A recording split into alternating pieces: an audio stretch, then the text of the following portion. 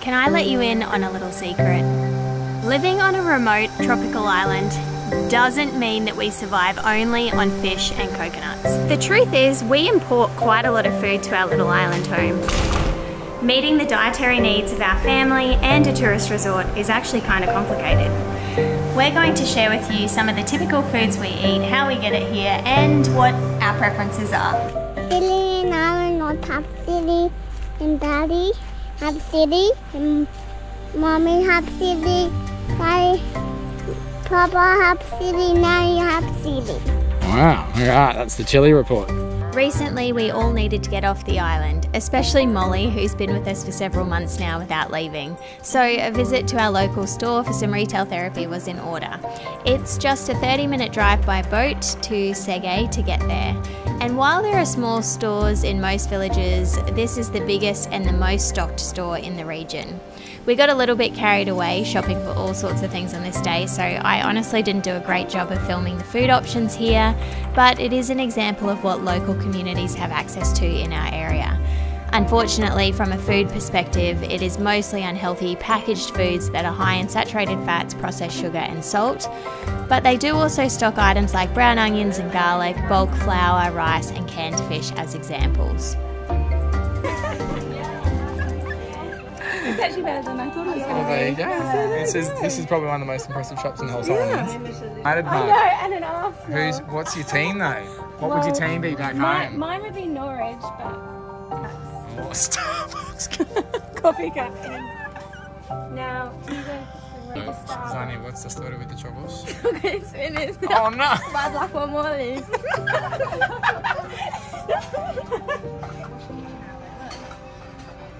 egg, you can put a lid on it so it can be like. So what are you guys shopping for? I'm confused, Philly. We're making.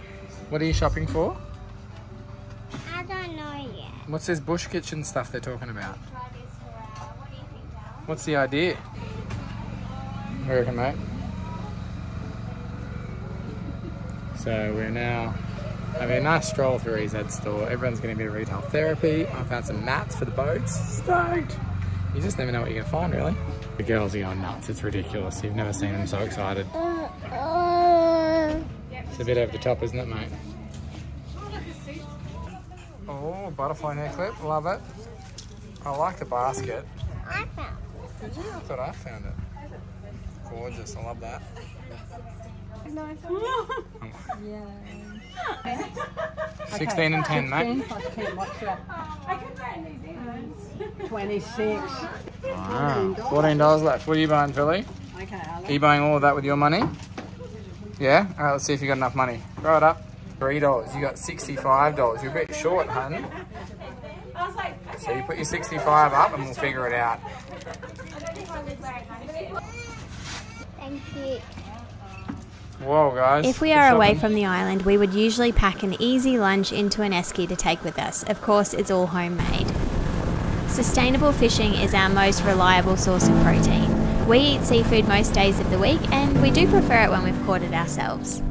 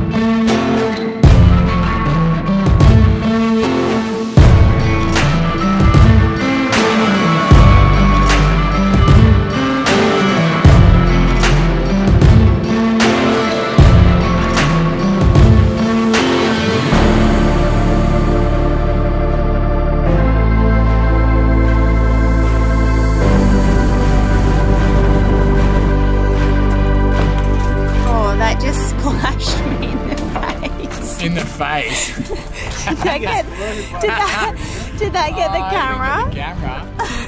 oh, I think I got the front. It's gross. Nice bit of dinner. We can work with that. And for the little ones. Oh, perfect. That's a perfect little Darwin fish.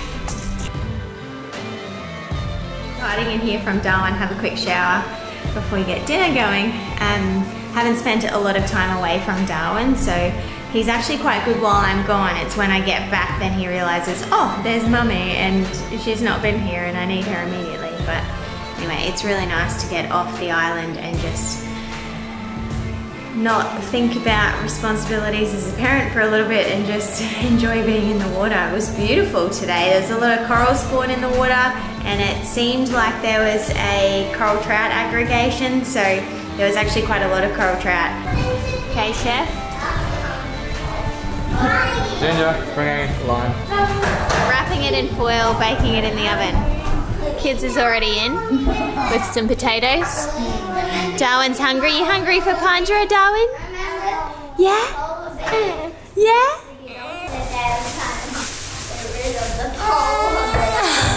Where you going? Where are you going?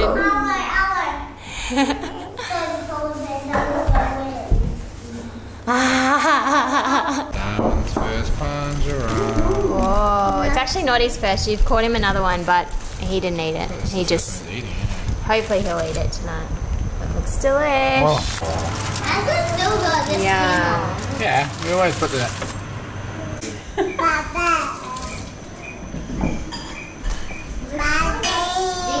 Is it good, Darwin? Darwin. Yummy? Yummy? Can try some? I'm gonna delicately pick it up. This style of baked fish is so delicious. Let us know if you want to see more seafood recipes from us. Okay, breakfast time here. We've actually got pear, which is really unusual. Arlo's going to have granola and milk. We've got some other local fruits. This is called apple chew. Pawpaw. Billy's going to have toast and some fruit. Anyway. Let's feed these gremlins. Everyone's a bit sick today.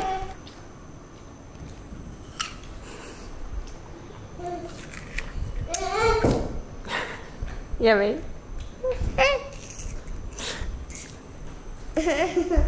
We make everything from scratch. Our breakfasts are pretty standard, but of course, all homemade. Meet Bubbles. She is my incredible sourdough starter for making delicious bread that I make pretty much every day. I bake a lot for the family and to make sure that the kids' school lunchboxes are filled with healthy, sustaining foods. Removing the conveniences of just popping to the shop to buy things whenever you need to, I tend to be more intentional with using food that we have available in the pantry and getting really excited when we have good quality fresh produce. We can access amazing fresh organic vegetables through local markets on the mainland, and we also grow quite a lot of produce here on the island in hydroponics and small gardens. But sometimes our typical options of sweet potato, eggplant, peppers, it gets a bit boring, and as a parent, I'm pretty aware of trying to in- introduce a variety of plant based foods for the children. So, we do occasionally purchase extras from the capital. Unfortunately, this means incredibly high food miles, so we don't get to do it very often. But we do choose things that will travel and keep reasonably well. Things like carrots, cabbage, and surprisingly on this occasion, pears. What a treat. That is a serious yellowfin. Come on, Joe. Fisherman to the nation, young man. Wow. Good job! Yeah, how good's that? What do we like We can to? have sashimi tonight. What? Sashimi tonight. so that's pretty cool. So we obviously survive off the ocean for almost all of our protein. Um, that's a pretty big yellowfin, and it's a pretty unusual fish to find these days. Unfortunately, due to like extensive commercial fishing, schools like that just a few and far between, uh, where they used to be everywhere. But anyway, we are lucky to have that one in the resort, and that is the creme de la creme of sashimi grade yellowfin. So we'll definitely be doing some of that. Maybe do a sushi dish with it as well, and it cooks up beautifully as well. So stoked! That is a big deal because we had zero fish left in the resort. Oh, cleaning belly. Lua passa inside, Go bunch of Oh, did Dad land one? Yeah. Wow. Come on. How deep was that fish going? That's a six meter deep diving lure. go there, have me move, go. Or some long more go finish. Okay. So you offset him a little bit, yeah? What's oh, Joe? Oh, What, that's a girl. what's Joe taking out? It's the eggs. Huh? I'm gonna roll. Yeah? Wow. It's a, it's a girl. Wow, good spotting, Philly. It's a girl. Philly knows what yellowfin tuna roe looks like. so why is he taking this part out, kids? That's, I don't think you can eat that. You can eat the roe, and you can eat lots of those bits, but when we're taking the fish to store it, we cut the, the stomach and everything out, don't we? So it keeps well. I think you have to get that stuff from that body. Big fish, big tummy. Mm. What's those long sausage things? Those are the, that's the eggs. That's what Philly's put. That's the roe. This will be a boy. I This will be a boy, you reckon? Different species. This one's a bonito. The other one's a yellowfin. It's a girl. Hmm? Yeah, Oh, that's you're a right, it's a girl as well. It's a girl. Well, there you go. Good job, Billy. Not a girl. Not a girl. So we do indeed uh, eat fish and other seafood. Uh, lots of people have different beliefs about eating animals and that's all well and good. I think it's something we could be doing a lot more of in Australia is getting people to actually understand where their food comes from. I think there's too many people in the world who just think that food comes from a supermarket and they don't connect to the food they consume. Let us know what you think in the comments below and yeah, that's our take on it anyway. That's the whole bench. That's a 1.8 meter long bench. I'd say that's 1.3 meters long. Woo! Okay, what are we doing? Going for a snorkel. Oh. And I Why, found a why are we going for a snorkel? Because it's school swim day. And oh. it's very hot. It is very hot. Octopus. Dolphin. lion. Octopus, dolphins, and lionfish. Fish. That is quite the diverse range. All right, let's go. Come on, let's go. It's quite an interesting balance between protecting what we love but also depending on the consumption of seafood for a healthy diet. I think the kids have a wonderful grasp on this, and as they get older, I'm really noticing how much they respect and appreciate the fish that we do take to eat. A quick swim off the dive jetty reminds us just how special every living creature is.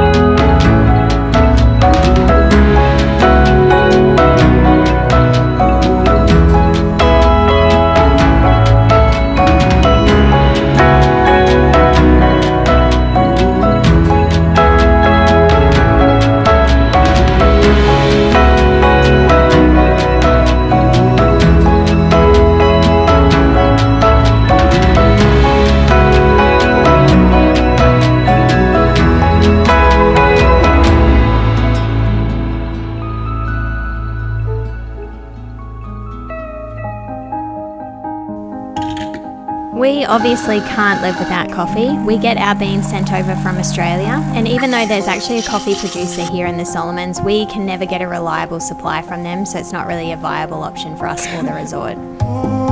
Okay, crawl gun. Go. oh, Muggy.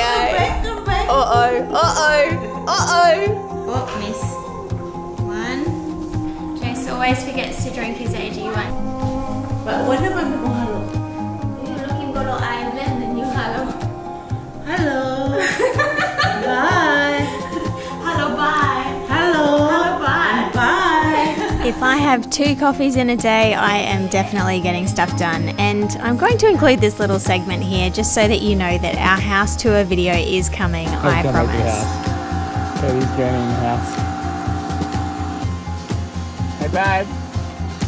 If it helps, you look really good doing that.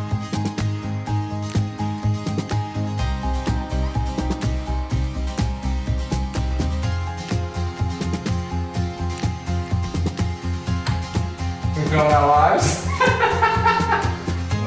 Whoa! Is it nailed or screwed? Very detailed. Oh, getting a sweat on. This is what I'm standing on to clean the windows. It's ridiculous. Got it? We have a lot of pantry goods sent all the way from Australia by sea, which takes a really long time and means that we buy things in bulk from our wholesalers. I'm still trying to manage the space I have here to store our food and keep it from getting bugs, ants, or mold in it. Yellowfin tuna and veggie pies for lunch today. Good? Darwin's having roast pumpkin and leftovers from last night, which is chicken, carrot, and cauliflower. Mm. Yummy. Hey kids, who caught this fish? Remember? Joe. Joe, this is Joe's fish that we're eating today. Mm. How lucky are we to have that giant yellowfin? So variety is really important to us, especially as a family. However, we do focus our energy on choosing to eat as fresh as possible, as local as possible to reduce the food miles and make sure that we've got a really wholesome diet for our little island family. I'm actually making a chocolate coffee flavoured cake today because it's my dad's birthday and it's school holidays, the kids are hanging around playing crabs and I feel like something yummy to eat. So yeah, it's not always perfectly healthy, but it is definitely wholesome and delicious. I really hope you've enjoyed this video. I honestly believe that feeding a whole family is not easy no matter where you live. So I would love to hear from you in the comments below about what you find difficult for feeding your family or yourself at home. And make sure you subscribe if you're interested in seeing more of our sustainable living content. We will see you in the next one, guys. Liana Villa. Today is actually your granddad's birthday. So my dad's birthday been 65, 65. but forever 44. So I thought we'd have some cake. Yes. Why not? Delicious, yummy chocolate cake would have been his favourite. Yeah? Oh, I can't cheers because Cheers, I'm mate. really cool. Cheers. Oh, cheers it here. Cheers. Hmm. oh, cheers. Alright. Oh, hmm. yum. Delicious. It's really good. you get to meet Daddy. Ooh, baby Darwin. No, and that makes me super sad. But you know what's really important? Is that we remember him, and know that he's probably happy to see us living a wonderful